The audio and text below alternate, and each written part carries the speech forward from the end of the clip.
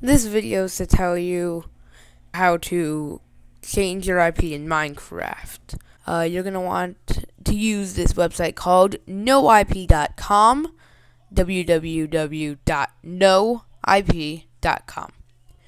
And uh, once you get to this website, you'll be at the screen. This works for any version of Minecraft. So just uh, sign up and, you know, just you know how to sign up and do all this stuff. And then once you've signed up, this will be over here. It will say sign out, card, and all this stuff. You want to click on your name. Once you click on that, it'll be brought to this place. You're going to want to press add a host. It'll bring you here.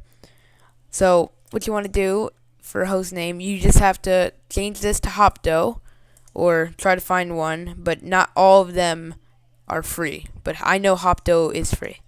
And put your host name. So let's say I want to make a server called Yo Yo Mama Yo Mama. So I'm gonna name my server Yo Mama Craft. And uh, you don't want to change anything else. This is your IP address that will be there. And then you just press add host. So I'm gonna click on that. Once you press add host, it will, you know, add the host and uh, you can only have three hosts if you're playing. I mean, doing no IP for free.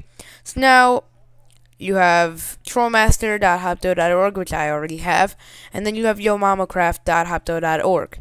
Since I'm using it with the same IP, it means uh, these both will take you to the same server. So now all you want to do is press download client.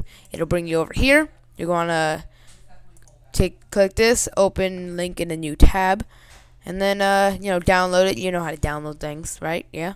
And then after you have downloaded that, um, since I have Windows 8, I'm just gonna well, if you have Windows 7, which you probably do, just look it up on the start menu. Look up DUC, and then um, you, you should find it, and then open it.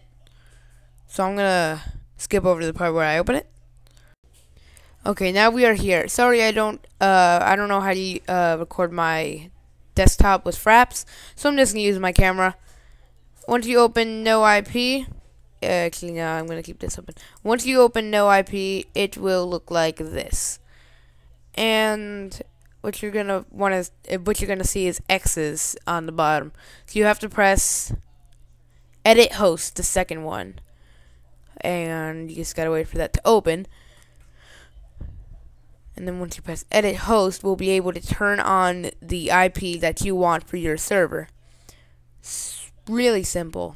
So just wait for it to open. Waiting. Okay now it is open. This will open. It will say edit group slash hosts. And you will have your host. You probably only have one. I have two uh, this one says Yo Mama's mi uh, Minecraft.hopto.org, and then the top one says TrollMasterCraft.hopto.org. Since I'm using Yo Mama Craft for this, I'm gonna check it by clicking on it, and then going to the bottom and pressing Save. Now, now that you press Save, this should be a check mark, and then this should be loading, and then it will turn into a check mark eventually. Now we're just gonna check mark it, and good. Now I'll come back to you when I'm in Minecraft to test it.